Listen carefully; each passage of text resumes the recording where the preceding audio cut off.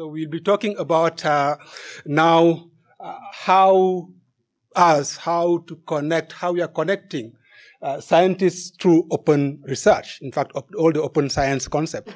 Now it's about connecting science and why we need to connect scientists. That's the, the talk that, that's what I want to talk about. My background is statistics. So, uh, uh, mainly MNE, monitoring evaluation. I've been designing a lot of projects, surveys, evaluation project in uh, several countries in Africa, uh, mainly in West Africa and so Central and also Eastern Africa. So, uh, assuming that I know this thing how it works, I think, uh, okay, now I get it. All right, thanks. So, um, I'll be talking very briefly about uh, uh, oh, my my my outline had missed that, but it's fine. So I'll be just giving you a small, very quick brief on who we are, African Population and Health Research Center. Uh, we are a research organization headquartered here in in uh, in, in, in in Nairobi, uh, but we have a lot of research. We are doing research in also other part of Africa, uh, in West Africa, in uh, also part of South uh, Eastern Africa, and also Southern Africa. Where we are not doing research, it's only in Northern Africa. So in North Africa, so that's why. But we are we are we are. This is what we are doing. We are doing research in all these areas: aging, education. Aging is dealing with the, the all the elderly people because it's important to understand the mechanism under which they are aging and what are their needs. So we have several publications. We have a big department on that. We have also a department on education, uh, dealing with access to education, quality, quality of education. I think there have been some works we've been doing. I think in the past with Kenyatta University. I don't remember. So health challenges and system. Uh, we have a department on that, and also dealing with population and uh, dynamics, population dynamics and reproductive health. So it's about uh, fertility, family planning, HIV, abortion. There's a big study that we did in the last few years in Kenya about abortion, uh, uh, abortion care. So in Kenya, it was very amazing, and we we, we talked, we, we engaged the government into adjusting, into uh, updating the policies on uh, in Kenya, and also we have a department on urbanization and uh, well-being. So those are the research arm. That's what we do in research, but they are those supported by the statistic and survey department, which is working with all of them into designing the survey, designing the research project, and also implementing the research project. But apart from that, we also have these, these two other things, which is this uh, research capacity strengthening, which is a big one, whereby we are supporting researchers.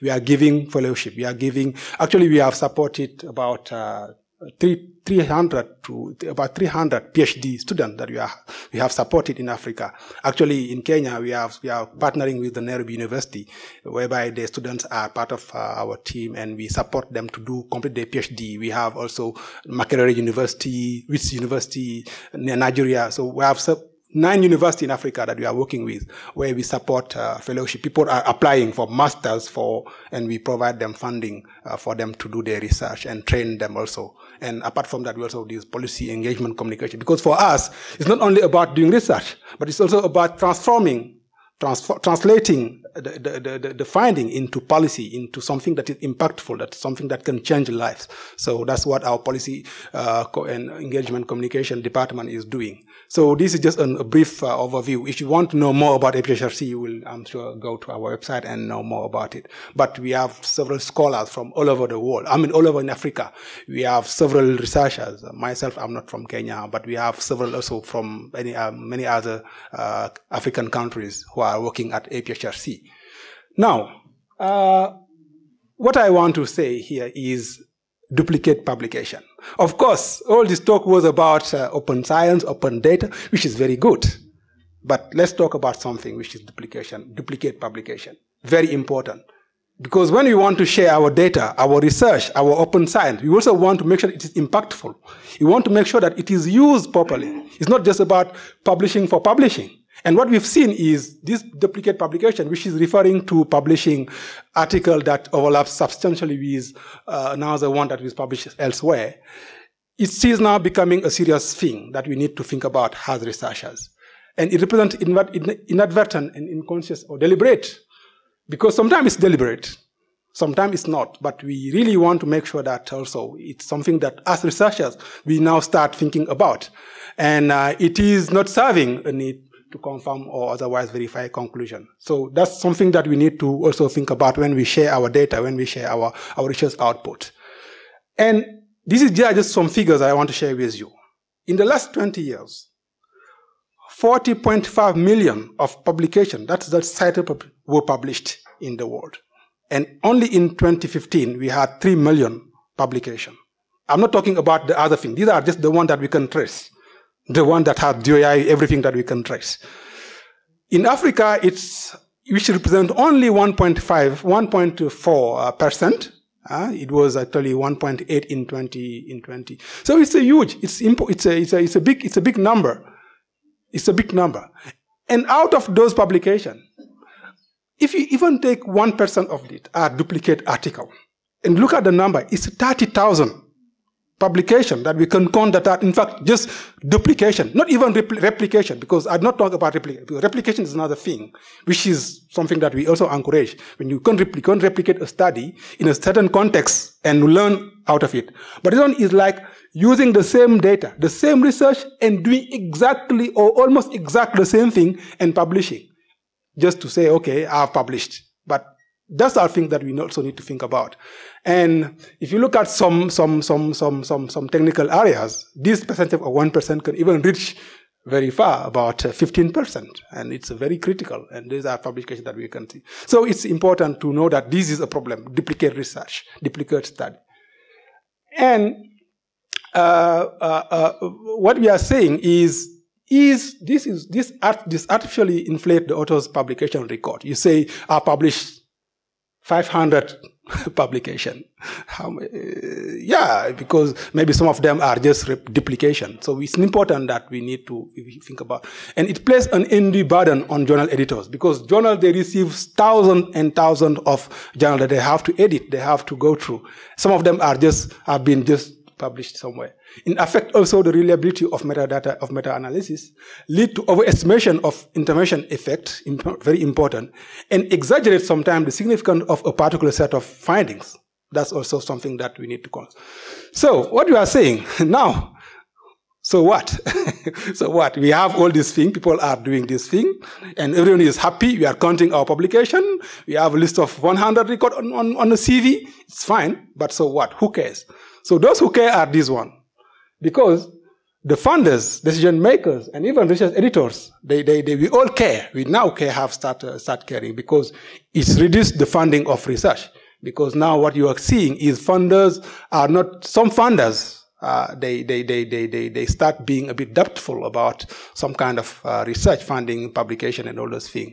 And also lack of research, lack of trust in research, repeated measurement for nothing, just a waste of time maybe, and also some unethical behaviors. Because if a researcher, uh, knowing that this was, I can cite, I can give you several references on published on papers that you can see on the web that has everything, DOIs and everything, but that also are just duplication of something that was done somewhere, and you can link see them because they are there. So the point is, uh, how do we go through this thing and what do we do? Now, for us, what we think is this way of connecting researchers to avoid such duplication. And what we think is the way is open science, open research.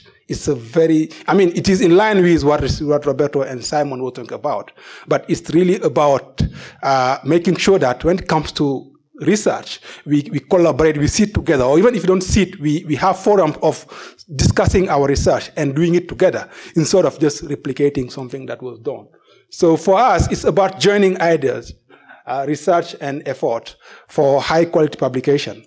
Uh, also maximizing the use of data because you will see some data set that are there that are being used but very very accurately in a way where it can be really used it can be helpful it can be useful to people. But also creating learning platform because what we are doing is what happened i will talk about how we are doing it but it's about really making sure that when a researcher have a need of doing this thing has a concept a very clear concept that we can link them to someone else somewhere in the world who is probably doing something that is similar that can also lead to a, a more impactful outcome.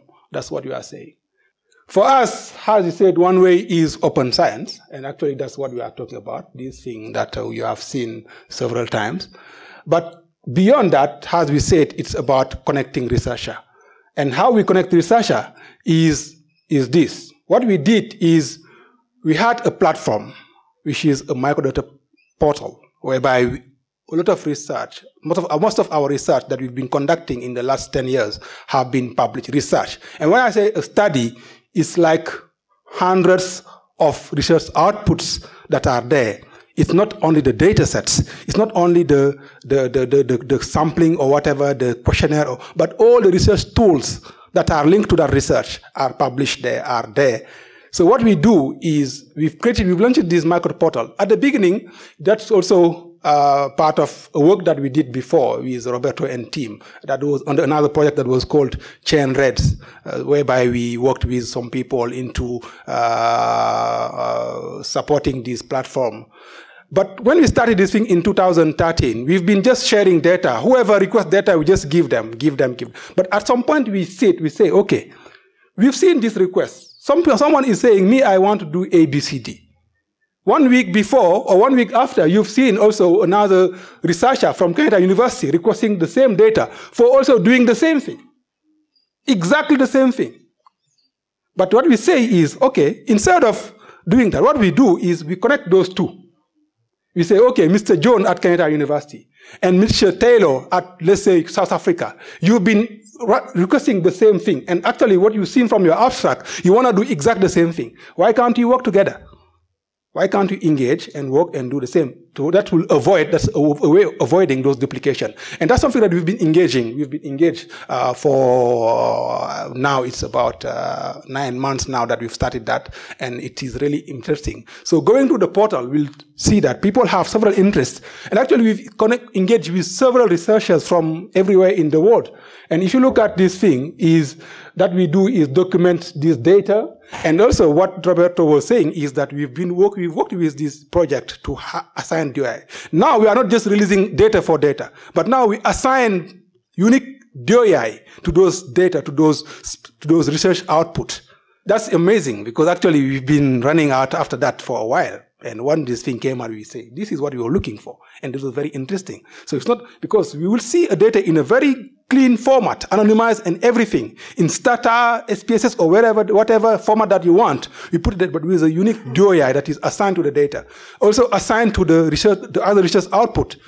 Questionnaire, it's important. In fact, sometimes we just think that, okay, it's not, but sometimes you will, you will see researchers spending time into designing a very useful questionnaire that you want to share with someone. And sometimes it is used somewhere in a certain publication without being cited. And our think is, our thinking is, when you assign those DOI to those research output, it helps them to sign that, cite them properly, not only the data. So this is what we did, and we have our own. Roberto was saying this is our prefix. We will be seeing a lot of publication, a lot of research material using these unique, uh, these uh, these DOI, these prefix DOI. And uh, for now, we have just a few, but we will be we are working on that we in the platform we have uh, now about 200 users. Uh, that's only the registered users because you can use the use the platform without being registered. It's not a must for you to register. So registration will just mean that you can get you can access freely the data. If you don't register, what you can do, you can download any other thing that you want. That can be uh, uh article, it can be questionnaire, that can be maps or whatever. But you will not access the data if you don't register. You have to register. Registering with just putting your uh, uh, what uh, email address and a password that you will be given to you for you to access the data. And these are the people that we have now in this. Uh, so we have uh, oh, something is missing here. I think uh, the fact. Okay, anyway, it's just like uh, who are our, our users, and the, the, the, the, biggest part actually are Africa. They are African users, African registered scientists actually who are registered, and you will see the yellow, the, the, the green and the red one are uh, users from the US, from from from America, and also users from Europe. So we have users, several users from all over the world, and also some from from uh, Australia. So the point is we want to, we've connected those people. As for now, we've connected about 50. Yo, it's a start. Maybe it's a very small number, but it's a big number for us because when you avoid, when you prevent research duplication by just connecting two or three researchers into doing the same thing. It's, it's a way of creating those learning platforms because they will sit and discuss. They have the same thing to do. They just have to sit and discuss it. And mainly students, because you will see students doing those masters or PhD work and there are many. Actually, we've received even a lot of requests from uh, most of the universities in Kenya, uh, Nairobi University, where people, students, when they want to uh, publish, when they want to do their PhD or when they want to do their master, instead of just going and going through all the very complicated uh, process of collecting data, all those things, they have data that are available there that are anonymized that they can use properly. So we think that that's a way of creating knowledge sharing platform. And also we've reviewed the article because what it allows us is also that when those, when those researchers sit and discuss and agree on what to do, as, as the one who produces the data at the, at the first level, we can share also our think, our thought with them in terms of uh, helping them to understand better data and also use it properly, but also to review whatever they are doing. If they want us, if they want us, they want us to review, we, they send us the, the, the, the, the whatever they are doing, and we can give advice on the use of these uh, these things. And also, we support also data analysis because we have uh, several statisticians that can support uh, any type of data mining or whatever that we is doing.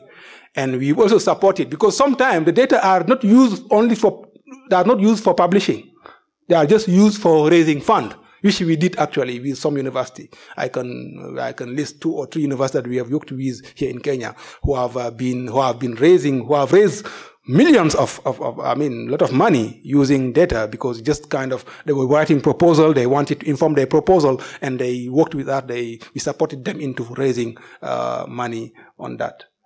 And what we want to do, uh, uh, is to actually we've started because we think that it's important for us to uh, uh, support this collaborative initiative. I've told you about these nine universities that we are working with in Africa, but also there are several research, institutions, research institutions in Africa that we are working with in uh, Tanzania, in South Africa, and also in Malawi, and also in Tanzania, in uh, Uganda, uh, with research institutions that we are working with. And what we are promoting is Researchers, okay, sometimes it's just hard because researchers sometimes they, they, just don't want to share what they are doing. They want to keep it until it is there. But what you are promoting is for them at the very early start, when they have the idea, to see it with some other people who can help them to not only refine the idea, but also to improve uh, the, the, the, the, the, concept and make it more useful. So what, that's what we did. And promote also open research in Africa. That's also we did. Because our students now, the people that we are funding, through our uh, fellowship, PhD or master student, it's, it is becoming now a must for them to, to, to, to collaborate, to, to, be, to, to, to, to be engaged in the, in the open science way. Because it's not helpful for them to to to just sit in your sit alone do something that at the end nobody will trust so a way what you want them to engage with researchers at the beginning to make sure that what they are doing, they are reading the right way, they are doing the right thing, and also uh, to publish impactful research.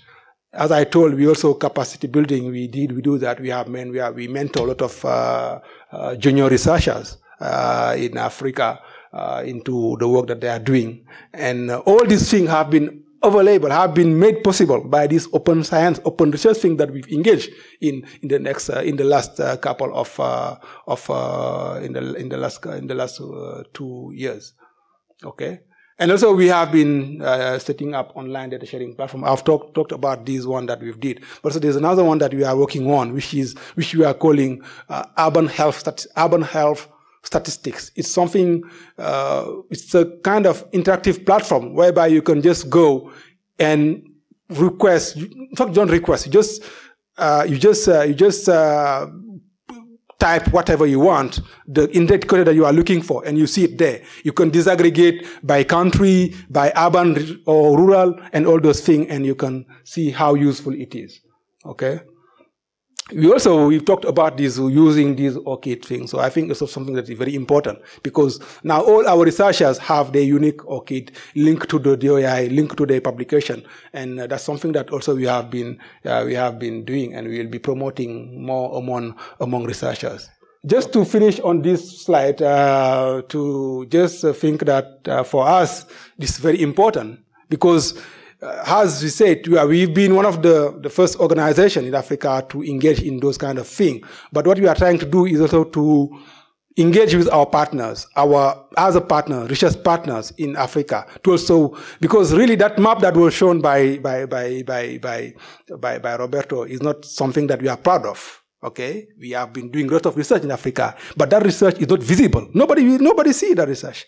You see this connection when you look for something in Africa, it's very hard to find it because people are not sharing. People are keeping what they have done, or even they don't even do it. Because what happened is some of our most of our scientists, it's very hard to engage them in, in publication. When they get to publish, it's really when they are really pushed to do it. it's something that really we don't, we really want to make sure that uh, academicians and African researchers are engaged in those kind of things. So we think that it's important to engage in those open science, and that's a way of really reducing these uh, duplicate publication because it's, uh, there's, there's, there's no way. It's, it's, not for us. It's not only dishonest, but it's also about uh, reducing this burden on, on, on editor and also funders. Uh, and for more impactful research, and also creating uh, this learning platform. So I think those are the things that I wanted to share with you. Of course, I've been, I had to um, wrap up all these things because uh, it's a lot of things. We've presented this thing in several platforms, and also we have uh, this publication that we did in our. If you go to our website, you'll see a lot of things on this thing, and also if you look at this uh, micro portal, micro micro microdata portal, you will see that several studies are there with thousands of research output that anyone can access freely without really engaging. So uh, that's it, and thank you for for your for this platform.